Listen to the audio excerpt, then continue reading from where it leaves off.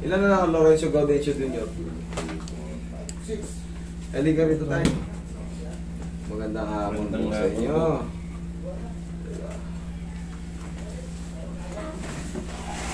Stroke si sir. Parang aneurysm po. Parang Aneurysm? Na, na, na, na-opera yung ulo niya. Dalawang. Ah, wala na pala. Tinanggal yung skull para ano, Para para hindi mo balik. hinihipit. Pag dyan sa utak ang ano sir, pag sa utak kasi, hindi pwedeng minamassage yan kasi brain na yan. Hmm, ko. Ngayon, ano pong, asan po yung CT scan niya or mga bagay-bagay na medical niya? Bakit siya na ano? Ngayon sir, ah, hindi naman siya na stroke. Hindi. Ang cause Ano kasi, yung- ang cause nung ano niya, Brain aneurysm. Pa, nung pangalawa kasi parang nagkaroon ng tubig. Tinubig. Parang sinisinok-sinok lang siya. Francis. Ah, sis. Okay, tapos inopera. Hmm. Tapos ginawa. Ba't sobrang lalim? Kung sis lang yan. Na. Tinanggal yung ano sir, pinaka-skull. Pwede namang ibalik kaya lang ayaw na nang kasi delikado. Hmm. Baka mabumalik ulit yung ano niya. Ano, lalim yun. Tinanggal yung isang part ng skull.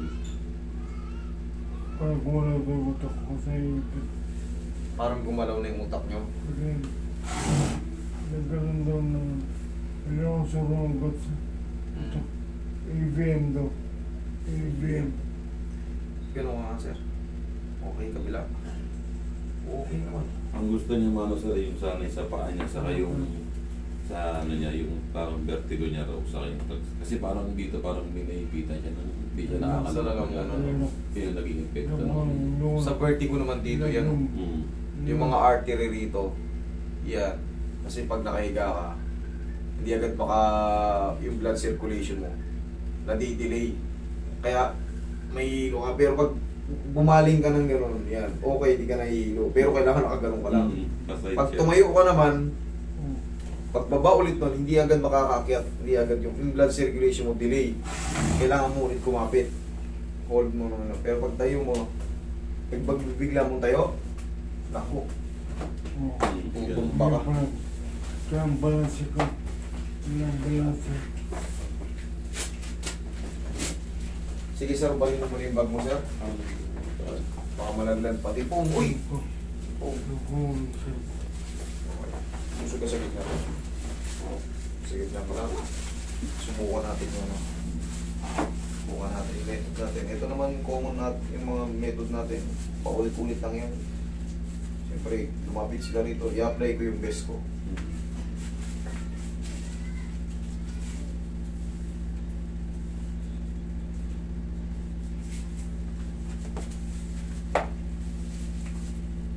Pag humihiga kayo, nahihilo kayo. Paano? Ay, yung vertigo, ganun ang vertigo eh. Paano yung sumusumpong yung vertigo nyo? Paglalakad ako. Pag naglalakad kayo, may, nahihilo kayo. Ay, hindi vertigo yun. Pagbilan tayo. Pag biglang tayo, ah, vertigo yun. Pero pag nakahiga kayo, gumanon, hindi kayo nahihilo, Minsan, minsan. may isa-minsan. Oh, part ng vertigo yun eh. Pero kung naglalakad tayo at nahihilo, iba yun, hindi vertigo yun. Kasi nakapaglakad ka na eh. Ang vertigo kasi magsisimula yan pag na-standby ka. Okay, nakahiga ka. Pag bigla kang tumayo, yan. Pero kung yung along the ano ka na, along the waves, nahihilo ka, baka iba yun. Ano, pagbilan tayo. Hindi na vertigo ang tawag doon. Pagbilan tayo. Pag bigla tayo, yun nga po yung vertigo. Pero yung walking na, nasa kalagitnaan ka ng walking, nahihilo ka, baka low blood ka or ano, high blood.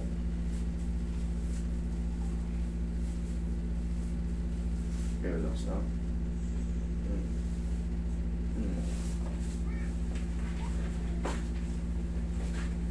Hindi naman siya na-disgrasya, sir. Hindi. Talagang parang nung una, tinubig lang. Ano lang siya nung pangalawa, parang non-stop yung sinok. Non-stop yung sinok. Sinok, hindi tumitigil yung sinok. Kaya lang ano nung pamangkin niyang doktor, Hmm. pa-check agad siya. Kasi iba raw yun, may iba raw yung pag... Sa pambata lang yun eh. Pag baby ka, sino ka ng sino.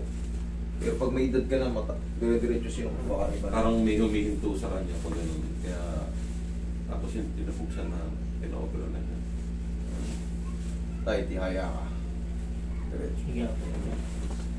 Barin nyo muna yung sleeper nyo.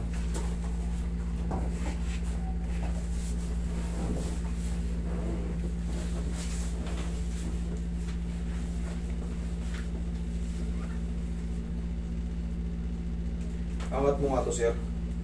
Okay, sa kabila. Tupi. Tupi. Yun, kabila. Malakas naman, hindi to stroke na. Hindi. Saka yung ano nga lang niya, yung parang gumagano'n yung paa niya pag naglalakad. Dahil yun dun sa ano. Siguro sa doon sa... Sa Sa na-face ako sa kanya, mata, sa salita. Kasi pagka naapektuhan yung mga brain nerves mo, hindi man tawaging stroke. Pero may lakad kang ano, magbabago talaga kasi may titigas. Parang matigas nga kami, hindi niya, Oo, hindi niya, hindi niya makontrol. Hindi niya makontrol yung paa niya. Tingnan mo, dito yung ano, cross din kasi talaga yun eh. Cross yan. Oo. Kung dito, dito yung ko, dito siya naapektuhan. No? Cross talaga yun eh. Pag sa brain nerves.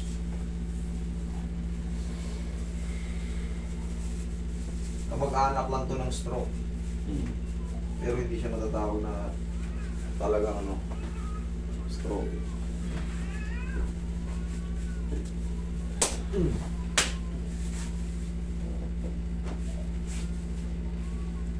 Kasi naiaanak, naipapantay niya ng ano, yung ibang stroke kasi siyempre dami na pupong sa akin. Hindi maigalaw talaga. Hirap i... Eh, gagano kaso, hesitate, yung baga, nag-aanuhan, naglalaban, para bang may tum may kumukontrol, may humahatak pabalik.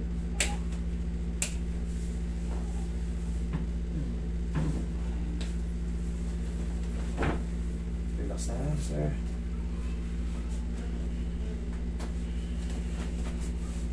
Kung makakapag-buy kayo sir ng mga stationery, malaking bagay sa kanya. Para ma-improve yung angat ng paa niya. Kasi ang nangyayari dyan, medyo delay yung isa kaya para siyang matutumba. Kung mapiperfect niya, kung araw-araw siya nakakapag ganun, yung walking, makakatulong yun. Okay, relax. Okay, relax na.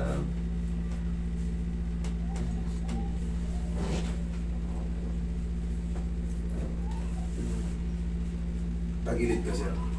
Hindi naman sumasakit yung ulo mo, kahit open. Okay, tagilid. Pag ganito.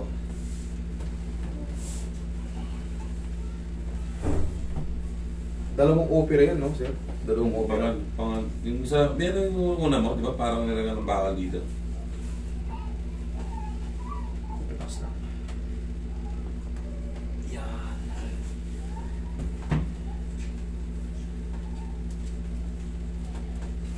Side, sir. Ilang taon na ba si sir? Puti. Bata ka pa. Was. Puti na yun. 49? Puti na yun. Bata pa pala nito. Bata ang pa pala eh. Hmm. Hmm. Bata pa pala kayo, dapat makaano tayo, i-mindset nyo sa isip nyo, recovery, tama Mm. kayo. Yan. Okay. Sa higaan, kung kaya nyo mag-push up, push up, kung mga movement, malaking bagay yun. Kasi doon na parang nag-ano ka na rin nag-exercise eh. Yung sa mga sa higaan, yung kilos ka ng kilos, patatagilid, ganyan-ganyan. Yun na rin yun. Tinuturo ko rin dito eh, kasi minsan, meron kang hindi makatayo. Para kahit sa higaan, nakahiga kayo ngayon, tagilid kayo, nai-squish nyo yung mga ano, Hmm. lumalagotok. Ganon din yung posisyon kanina, nakit, napa, napakinggan nyo? Tumutunog, di ba? Pag ganon din yun, kaya kung magagawa niyo yun, safe naman yung patagilid. Pero kung pagbubuhat, buhat na mabigat, tapos may lumagutok, yan ang hindi safe kasi compression yun. Pero pag pag ganyan, all on, free lang, wala, hindi makukompression yun.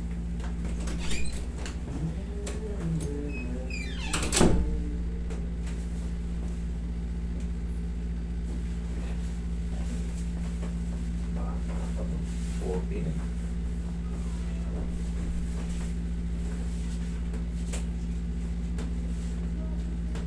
Yun.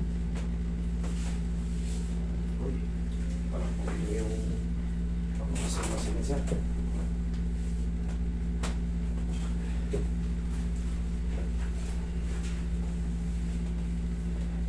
Sipagan mo lang mag-exercise, sir. Mapapantay rin yan.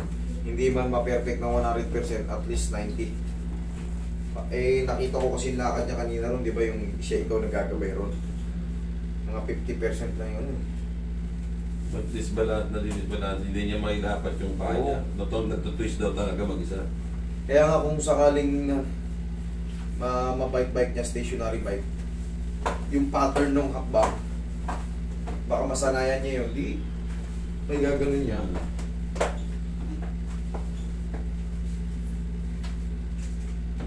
Bata ka pa sir, marami pang mangyayari. Malay mo, sunod na taon, hindi ka na ganito. Kaya dyan. Huwag lang magkakakain muna talaga ng mga high, ano, high cholesterol, mga bad cholesterol. Bawal ano? Sisigaw-sigaw lang kayo rito, mamihanin ko. Yung vocal cords natin, ha! Ha! Ganun yung sigaw nyo para magkaroon ng boses. Kasi pag ganyan, hindi na na-practice. Sabi mo, video okay. Oo, isigaw mo ron. Ha! Tapos pag nagbasa siya, magbasa siya malakas. Mm. Para ma-practice talaga. Para ma-practice yung vocal cord. Mm. Yung iba nga, pinatitilig sa ilalim ng tubig eh. Okay, relax lang. Inhale. Exhale. Yun, yun. Tagayin mo, Roy. Laki natin yung sabi ni Sir, request ni Sir. Straight lang. Kunting-kunti lang naman eh. hmm. Kunting-kunti dito, Roy. Relax lang. Mm. Oh. Oh. Ayos na, patay na. Oh, diba? Tapos, sige nga, pedal mo yung, kaya kunyar, nakahiga tayo, yan, pedal, pedal ka, yan. Para masanay na, ano. Kasi kanina, pag nakatayo ka, parang hindi niya maiangat eh. Parang bumibigay yung ano. Oo, parang, yan, para ano, masanay na. Siyempre, pag nalaman, pag nakasanayan mo na naiaangat mo ng gano'n, makaka, ano ka na, makaka-move forward ka na ng, ano, may tataas mo yung braso. balance ko lang. Yung balance na lang, hindi, yan ang ano natin. Subukan natin gawin ng Oo. parang. Basta, Mm. ito kung pag kinakapos ko na yun yung Oh. right sa health ako. Pag nagsasalita ka, Kinakapos. pag nagsasalita, okay, sige. Ah, Hinga kang malalim. Tanda mo iaangat mo tong kaliwa mo.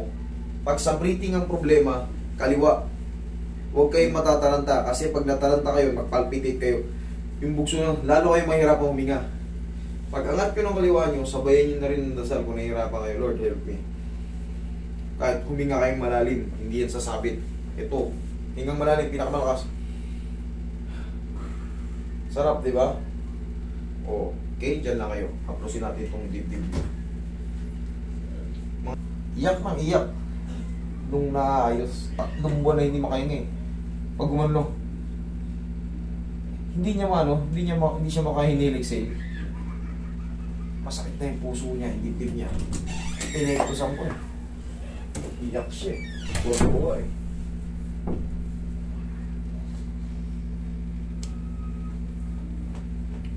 Tandaan niyo yun ha, sir ha. hmm. Kaliwa, iangat nyo. O, sige, upo kayo. Ayaw. Dito naman.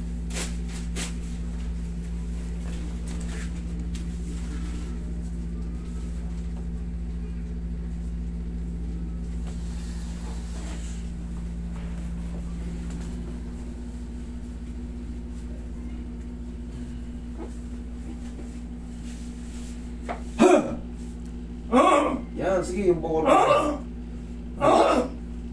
Ha! Ganun. Ah! Ha! Ah! Ha! Ah! Para lumabas yung bukol. Ah! Okay. Kasi pag Ah! pagka hindi kayo sumisigaw, hindi Ah! gagana to. Kailangan yan, may ano yan, may voice out nyo. Yeah, sigaw. Ah! Ah! Ah! Yung gano, yung pa, nakanganga, ganito. Ha! Ha! Ah! Ah! Yan. Ah! Yan ang medyo lumabas na. Ah! Kaprano. Matigas to. massage natin. Ito. Lahat ng may stack up, parang sa sakyan din yan. Pag may stack up, Tangina change oil. oo.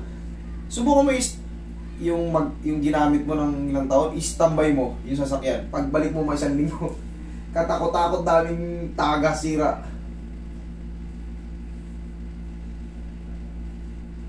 Kailangan yan, sigaw-sigaw mo.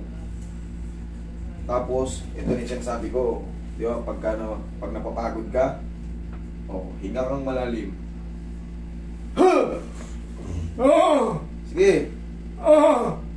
sige pa, buo. Ah! Yan, malapit na, sige pa. Ah! Yan na, malakas na. Sige lang, eh, susunod yan, malakas na yung boses mo. Kasi ngayon, yung boss mo, kailangan magkaroon ng sounds. Pagka nagkaroon kasi ng sounds yan, mababaybay, maiintindihan ka na.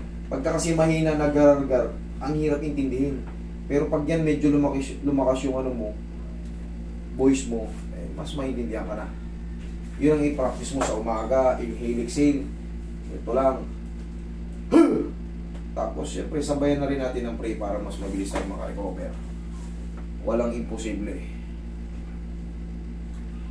Pag tinulungan tayo ni Lord. Okay.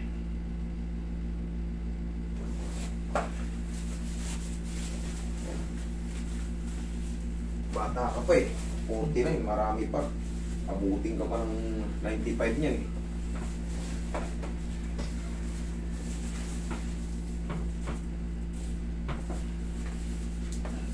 Relax lang.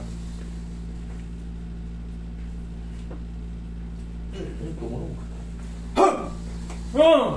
Sige, yan na. Buo. Ah! Yan na. Sige pa. Yan, medyo buo na. Wala nang gargar. Wala na. Ah! Gargar. Ah! Yan lang.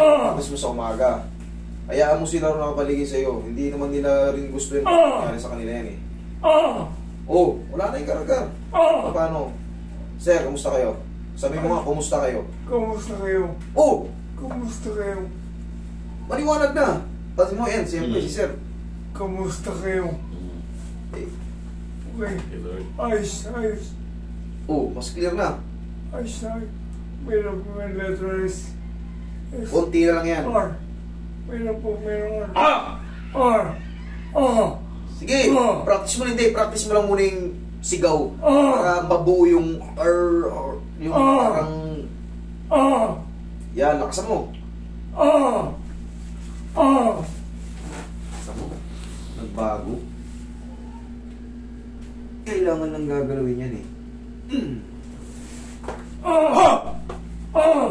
Sige, Ah! Ah! mabuti. Mabuti. Mabuti. Yan ang malakas na. Mabuti. Ayos. Okay. Oh. Ayos. Sige sir, pagka ano, kailangan mo ng ano ko, expert. Kumbaga, ginagawa natin, pasyal-pasyal ka lang dito. Balik. Sa aling ano. Balik. Mamaya mag-video ka tayo mamaya. Ayun, kung, ano na oh, medyo clear na yung ano nyo. Mm. Okay, sir, Ayos. maraming salamat sa pagtitiwala. Maraming Sana salamat, mabilis sir. ka pang makarecover. Babalik Tandaan nyo sa babalik isip para- nyo, recovery, ha? Mm. Kita mo lang yung bagbabago. Si sir, nagulat nga, oh. Nakita niya yung improvement, kahit pa paano. Tapos yung bike, sir, siguro tapos hayaan nyo siya magsisigaw rin sa ano. Bike. Hindi kita na si Kalona. Salamat, sir. Salamat. Thank you. Oh, malakas ka. Sir, ha? Okay. Bata ka pa, marami pang Marami pa. bagay-bagay na mangyayari. Bye po, bye-bye.